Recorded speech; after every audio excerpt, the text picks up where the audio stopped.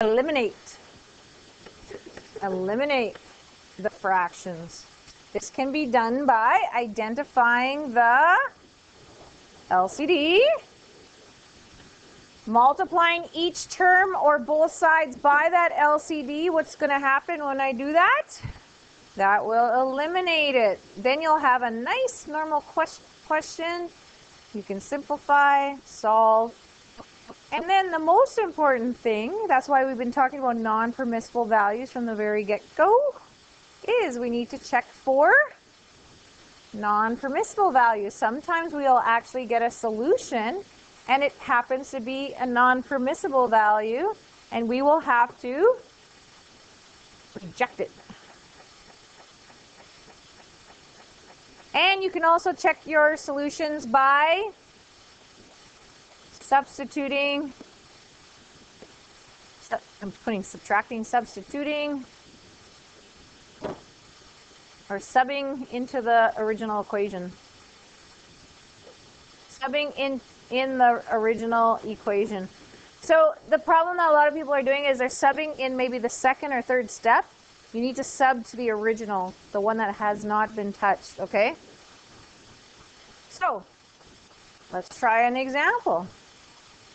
What would the LCD be in this example? Yeah, the two things multiplied together. x minus 1, x plus 5. That's what happened in your quiz today, right? They were the, just the two that were multiplied together.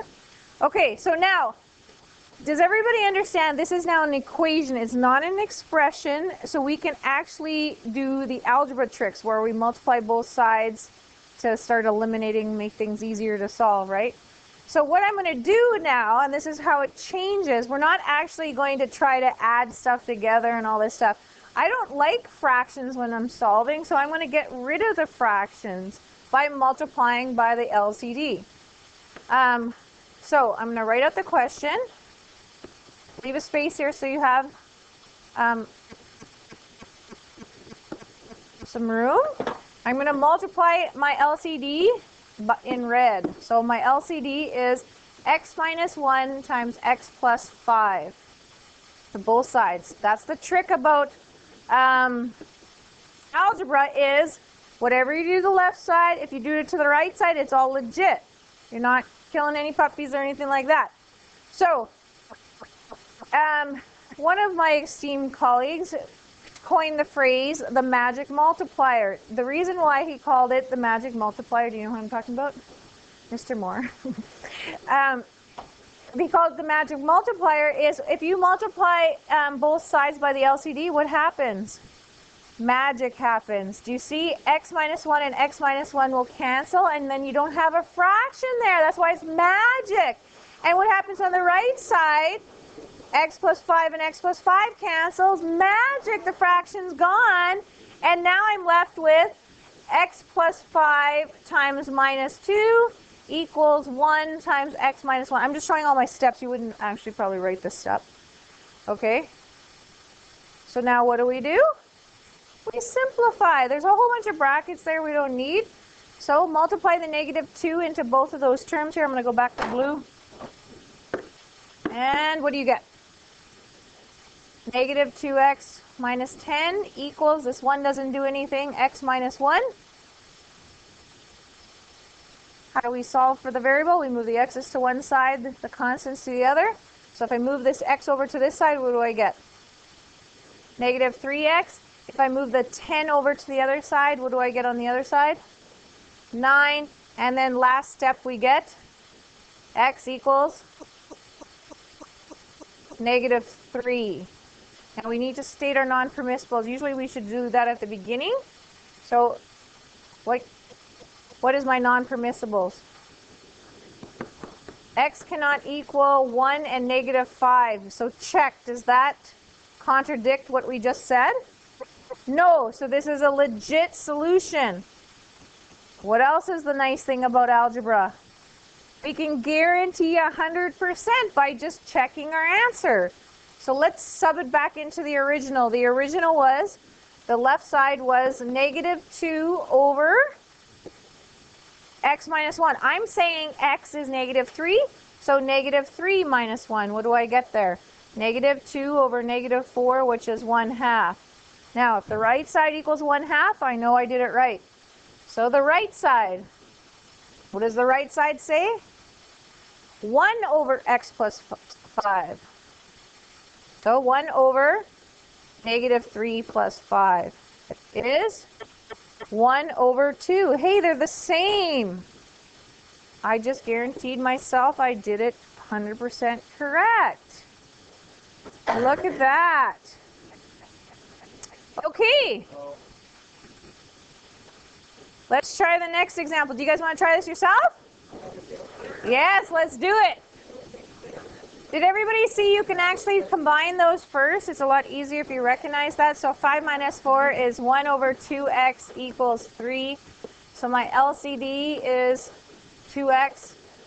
So I'm multiplying 2x to both sides, right? The magic multiplier. And what am I left with? 1 is equal to 6x, so x is equal to 1 over 6. What's my non-permissible value? x cannot equal 0. Is that that? No. So then somebody said, how do you, how do you um, check your solution?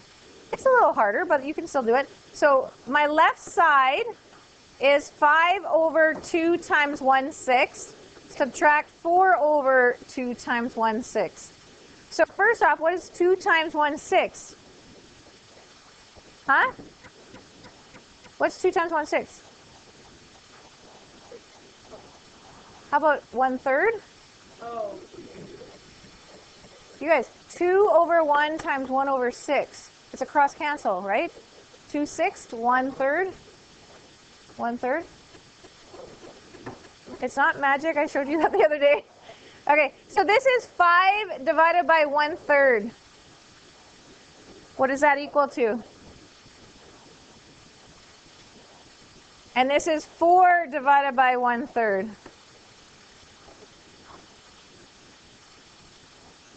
Here, I'll show you a little trick. Here's a trick that you might like. Do you know if you're dividing by a fraction, that's the same thing as multiplying the reciprocal? What's the reciprocal? 3. So this is 5 times 3. 15 minus 12 is 3. Okay, and then on the other side you get 3. Well, that's what the right-hand side is, so you know you did it right. okay. Okay, so what's my common denominator, LCD? 7 times x plus 2.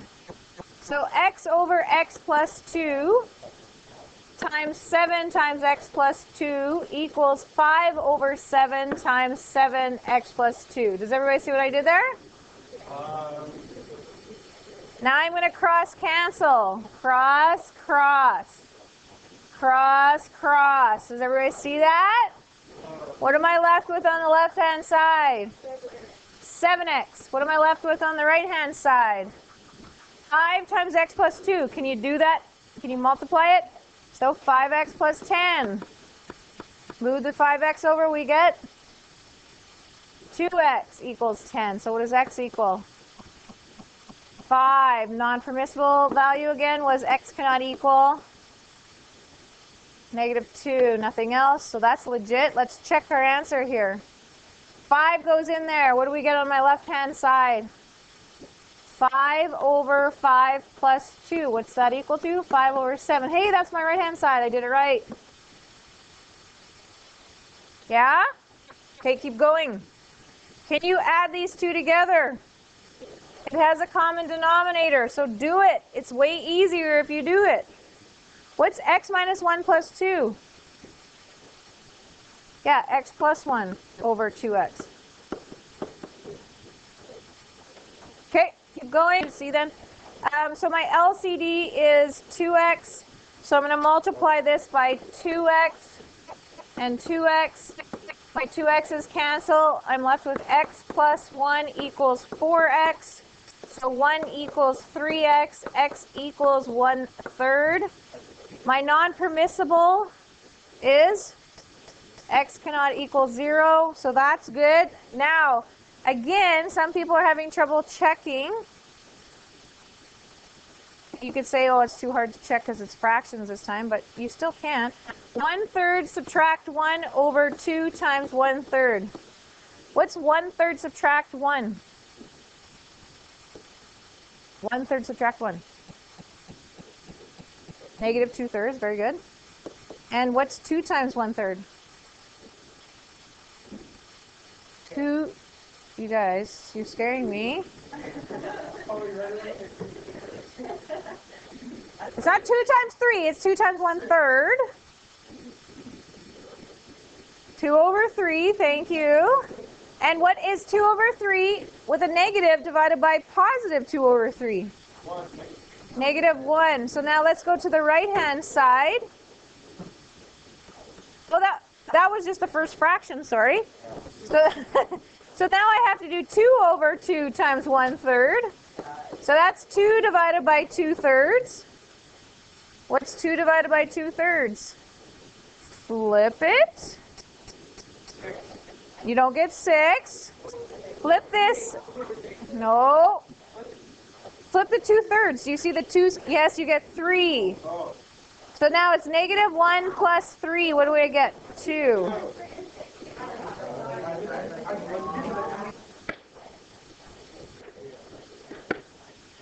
So my LCD is x minus 2 times x plus 4. So 1 over x minus 2 times x minus 2 times x plus 4 equals 5 over x plus 4 times x minus 2 times x plus 4. Cancel, cancel, cancel, cancel. So then I get x plus 4 equals 5x minus 10. Didn't I just do this question? Minus 4x equals minus 14. Oh, it's different. 14 over 4, which is 7 over 2. 7 over 2? Yeah. Okay, so let's check here. Oh, first off, what's my NPVs?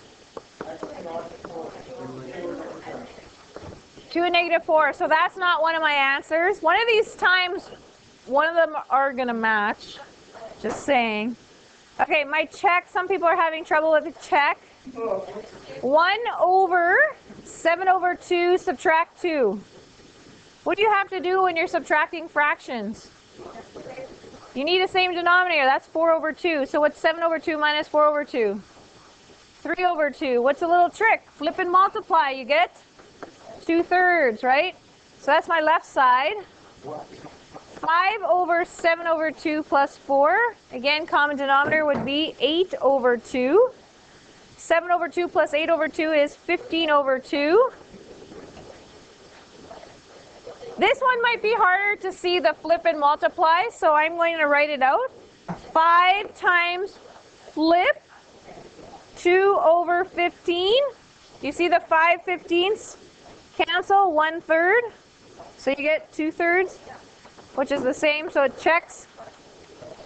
Yeah? Okay, next one. What's my LCD? x minus 1 times x plus 3.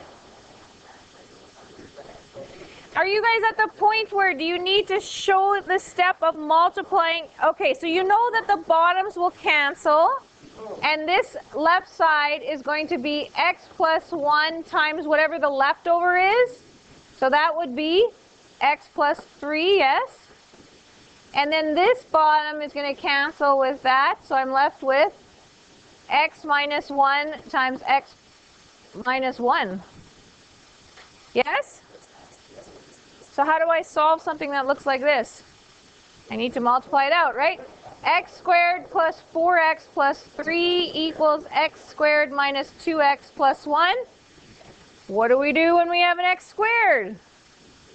We need to move it over to one side so it equals 0 when we have a quadratic. That's what we learned in the previous units, right? However, if I move the x squared over to the other side, what happens with the x squares?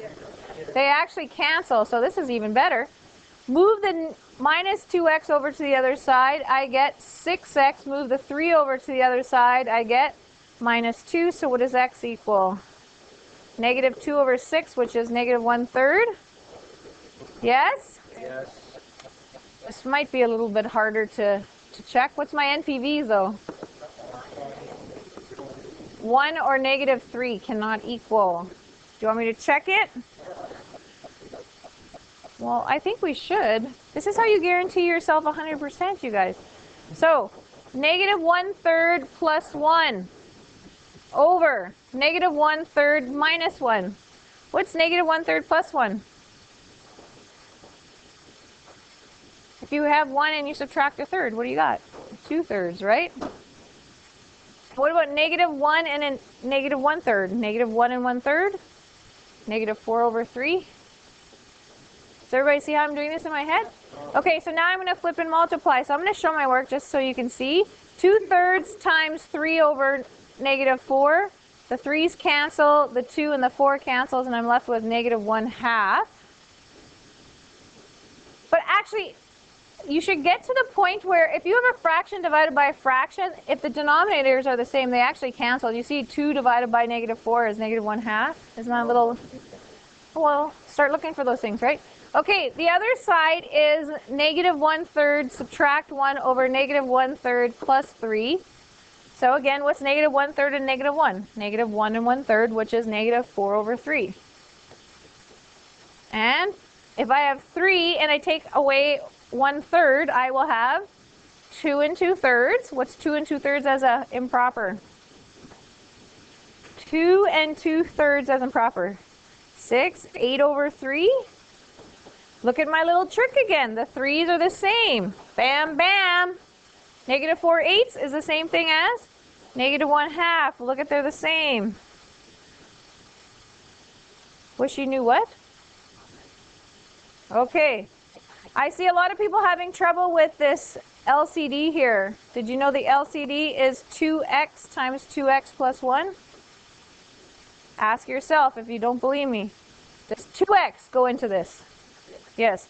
Does 2 go into this? Yes. Does 2x plus 1 go into this? Yes. Do you see why it works? Yes. So again, I'm not going to uh, show the step where I multiply each and every one. Just know when you're multiplying each side, when you have two terms on that side, it's a distributive property. You're multiplying that and that by the LCD, the magic multiplier, right? So, if I multiply x minus 2 over 2x plus 1 times my LCD, what am I left with? The 2x minus plus 1 cancels, and it's going to be 2x times x minus 2. Is everybody okay with the left-hand side, what happened there? Are we at that point? We can do that. Okay, so now the 1 half, forget about this plus whatever. The 1 half, what's going to cancel in my LCD? The 2 and this 2 are going to cancel. What am I left with? X times 2x plus 1. And if you want, you can have times this 1 that's already there. I'll put the 1 there just for fun. Okay, then I have a denominator that's a 2x. It's going to cancel with this 2x, and I'm going to have this left times x minus 3, right? I feel like I might have lost somebody by doing not showing that step. I don't know. What do you think? You good? You guys rock. Okay. Continue. Solve. Right? So 2x squared minus 4x equals 2x squared plus x plus 2x squared. This is a FOIL. So plus 1x minus 6x is minus 5x minus 3, yes? So I'm going to combine the one side.